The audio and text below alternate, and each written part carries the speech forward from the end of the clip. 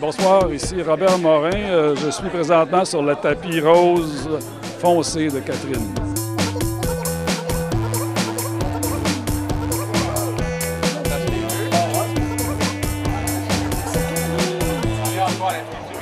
Quatre soldats, c'est le titre du plus récent film du réalisateur Robert Morin. C'est présenté dans le cadre du festival Fantasia. On s'entretient non pas avec quatre soldats, mais cinq. Bienvenue sur le tapis rose de Catherine. L'armée était du côté des riches. Les pauvres qui avaient plus rien à perdre ont formé des milices. Est-ce que Quatre soldats est un film confession? Non. Non. Non. Ça s'éloigne de mes trois derniers films. Dans ce sens-là, euh, je voulais justement m'éloigner de, après comme trois films de, de tape sur la gueule, comme on dit. Là, je voulais me retrouver ailleurs. là. J'avais le goût de- d'aller euh, non seulement dans, pas dans la colère, mais dans la nostalgie, en fait. C'était un, un rêve pour toi de tourner avec Robert Morin. C'est vraiment ton réalisateur préféré. Qui t'a entendu là en haut pour que ça fonctionne? Clairement pas Robert Morin. C'est Robitaille? Euh, moi, je la- moi, je le disais tout, tout le temps en entrevue, tout ça. Puis là, après ça, j'ai appris que Robert avait pas de télé.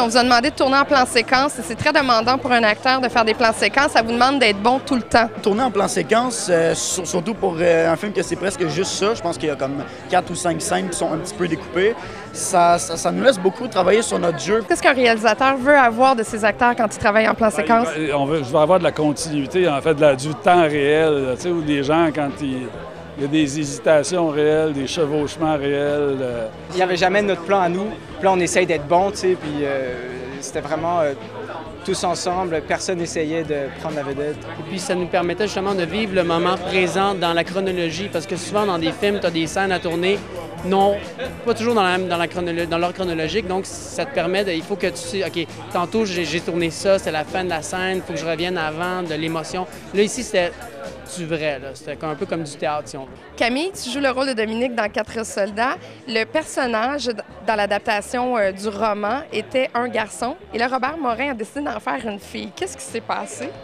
Euh, ben, en fait, je sais qu'il a auditionné beaucoup de garçons pendant plusieurs mois. Puis ça, ça lui trouvait pas ce qu'il voulait. C'est ça. Fait que là, j'ai fait deux auditions. Puis euh, ben, ça a fonctionné. Il m'a dit en fait que Robert, c'est un peintre de formation. là. Puis il m'a dit que c'est l'harmonie des visages avec le reste du groupe. Donc, euh, On vous a amené euh, dans une cour à scrap pour euh, tourner une grosse partie du film. Est-ce que vous êtes... Une cour à scrap, Ouais. Dans la cour à scrap. Ouais, celle, celle de Carcasse, du film Carcasse. Est-ce que vous étiez vacciné euh, contre le tétanos? Mais ben, non! Je- Je l'ai pas encore attrapé, fait que... euh, j'étais pas vaccinée. Il n'y a pas beaucoup de comédiens qui l'étaient. Hein? Très attention parce que j'aurais pu, j'aurais pu le pogner, je pense. Souvent, on ramassait Antoine dans le fond. de- Il y a une section cap de roue. Il lichait l'intérieur des capes de roue. On était là, come on, man. C'est le tétanosville ici. Là. Et le fait de tourner avec un fusil, là, t'es un peu comme une G.I. Jane, euh, de te promener avec un fusil tout le temps. Euh, c'est souvent attribué à des hommes, moins à des femmes. Comment tu te sentais? quand ça détonne pour vrai, là, t'es juste tellement plus dans le moment, tu sais, tu cours, puis là, t'as peur de... T'as vraiment peur pour ta vie, là, tu sais, fait que ça aide au personnage encore, mais...